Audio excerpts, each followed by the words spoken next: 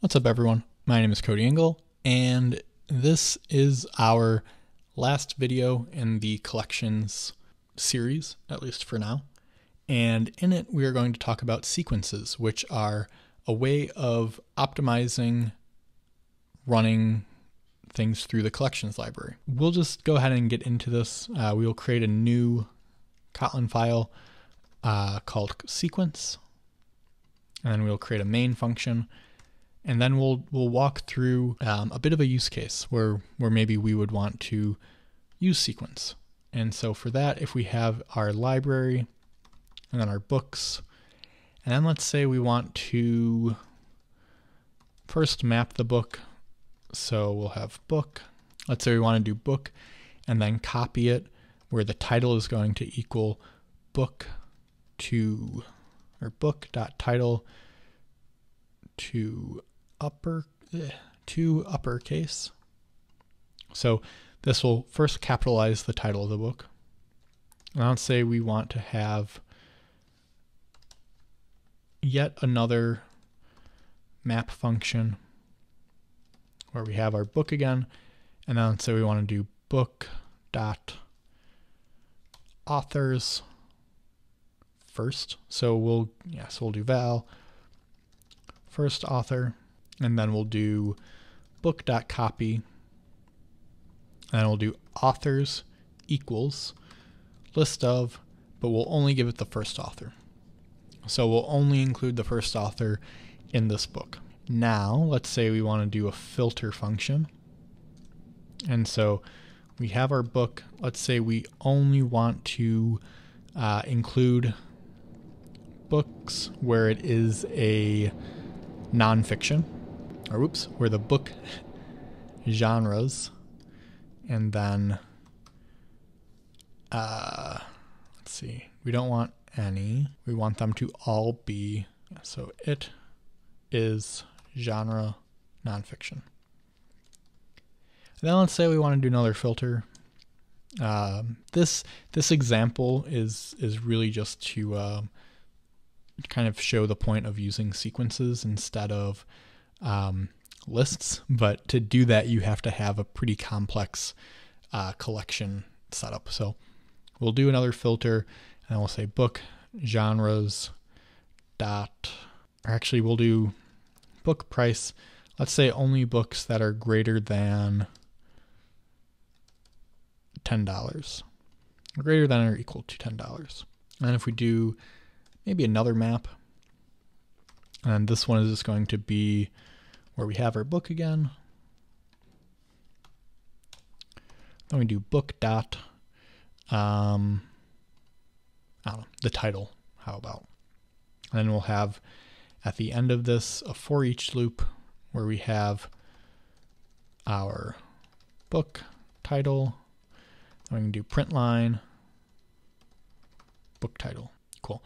So that was a lot. We'll go ahead, we'll run this just to kind of show what it looks like. And so we have 0 to 1, Why We Sleep, all of these books which map or match up with um, all of these operators.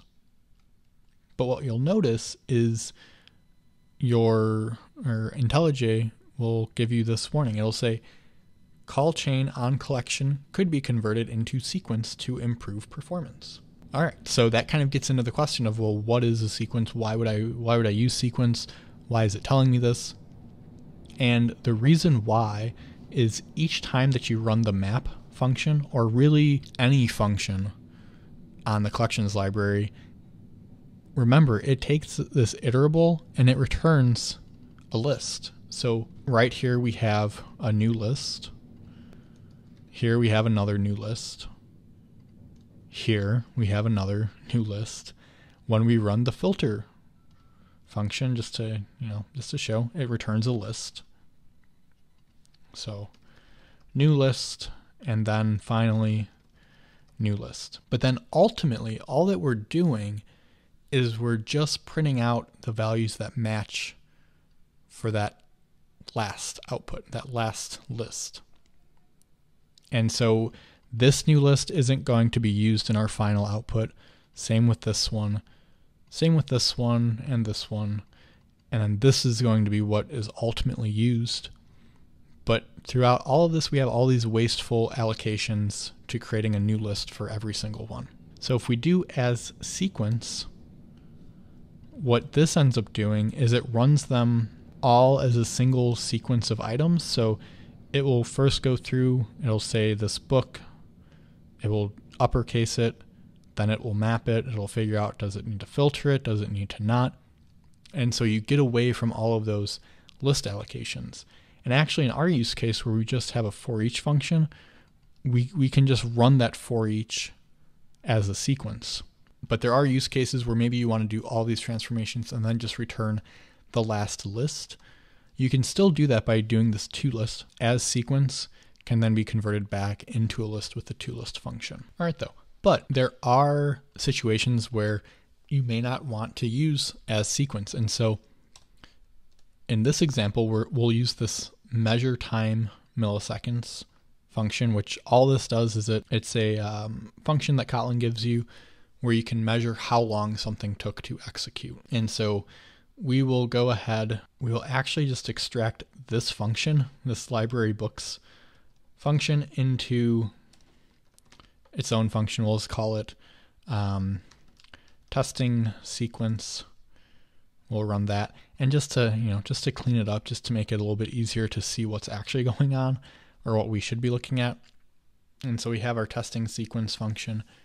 And then with this measure time milliseconds, we'll do the also scope function to say um, execution time, and then we'll do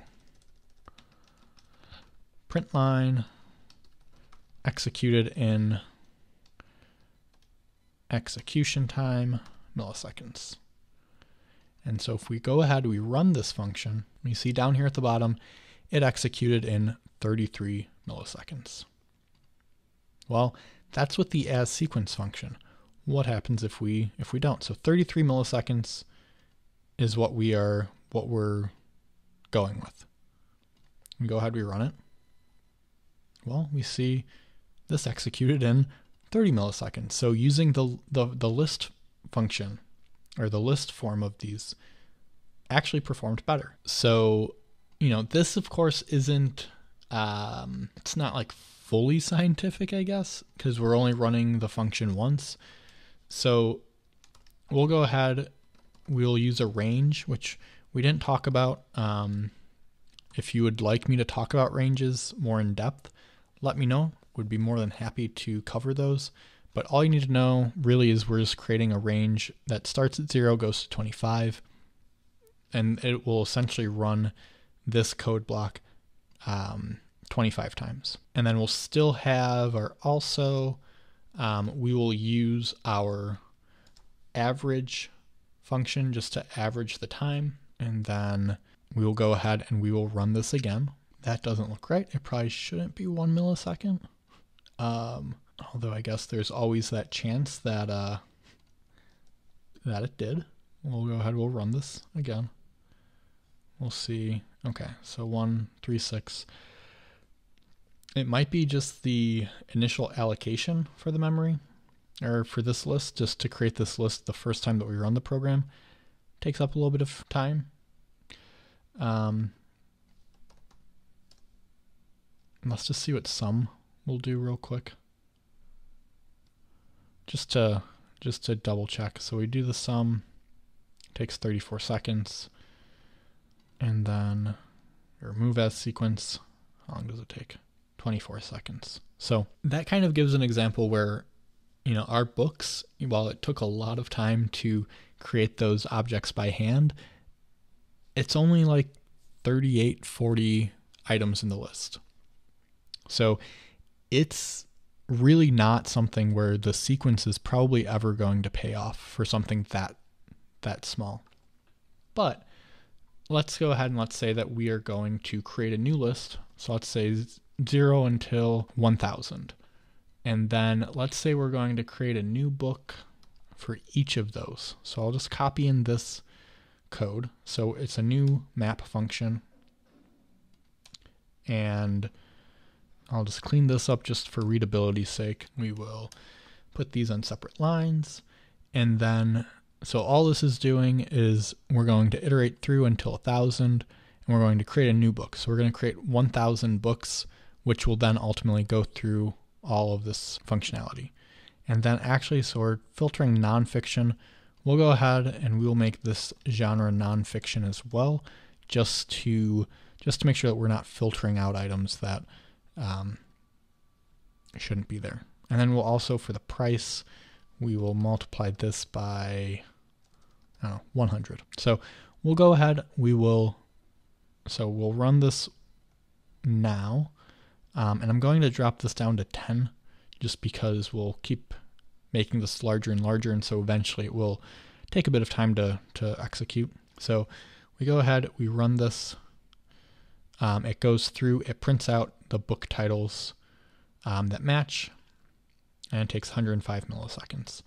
I'm actually going to comment out the for each part, um, and we'll just run it again. All right, so we're at 23 milliseconds when we aren't printing it out. So let's go ahead and we'll add the as sequence, and we're going to add it after the books have been created because that's you know we're converting the map to the sequence and then we go ahead, we run it.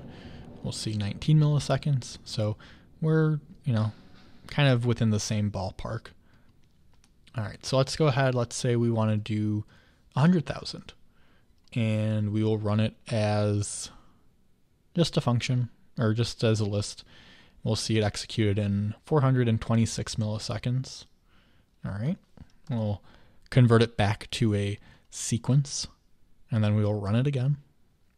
And then we'll see, aha, now it it executed um, quicker. So 182 milliseconds for the, the total time to run it through 10 different times. Cool. So the point of this is just to illustrate that there is a initial performance hit when you are converting anything to a sequence. And that performance hit may or may not make sense. Like right now we are testing, you know, the runtime, so we're not testing the memory constraints. And so this is just to show that using a sequence may slow things down, but if you're dealing with a large amount of, of items, so in this case, a um, 100,000 items, converting it to an as sequence before doing all those operations can actually save you a lot of time um, in that sense. And then also, ha- you do have those memory constraints to, to think about as well. While we're not benchmarking those, um, you can know that converting things to a sequence will will of course give you better memory constraints because you aren't duplicating a list every single time you're converting it. That is it for this video, um, and for this part of the series at least. Uh, so thank you so much for watching. If you have any questions, if you have any um, other videos that you'd want me to, to go over in terms of like different collections and different functions where we didn't go over it in this series, let me know. But otherwise, thank you so much for watching. If you enjoyed this video, give it a thumbs up. If you're excited for more Kotlin videos, be sure to subscribe. And otherwise, thank you again, and I will catch you in the next one.